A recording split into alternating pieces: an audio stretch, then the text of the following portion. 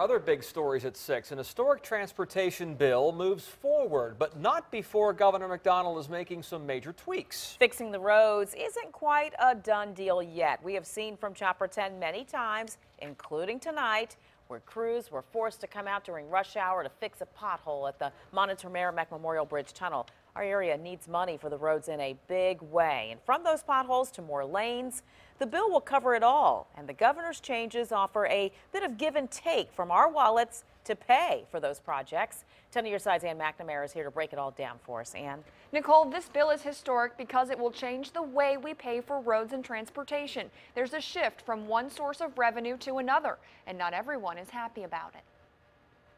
In a day full of talk about amendments, the governor says citizens should focus on one big change a shift in the way we pay for our roads.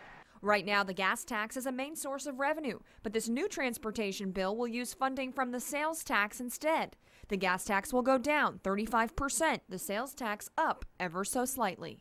Speaking of taxes, the governor's amendments will lower tax increases when you buy a title for your car. The governor says the change will benefit auto sales. Owners of alternative fuel vehicles will be happy to hear this one. The annual fee will be reduced from $100 to $64. And when it comes to real estate transactions, congestion relief fees will also be lower by 10 cents for every $100. But there's one amendment that's attracted more attention than others. Governor McDonnell avoided a constitutional crisis. The General Assembly proposed taxing localities like Hampton Roads, who have more traffic than most. Attorney General Ken Cuccinelli says that's not legal let's say we were mad at Arlington. Well, let's just tax Arlington more.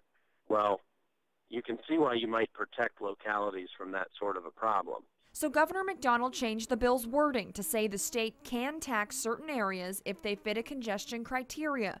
The only two places that fit the description? Hampton Roads and Northern Virginia.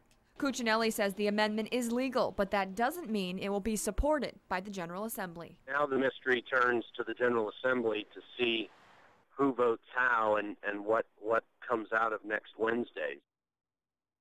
Next Wednesday is the day the General Assembly reconvenes. Cuccinelli says expect opposition to this transportation package. Meanwhile, Democrats are praising the governor for avoiding that legal battle over taxation.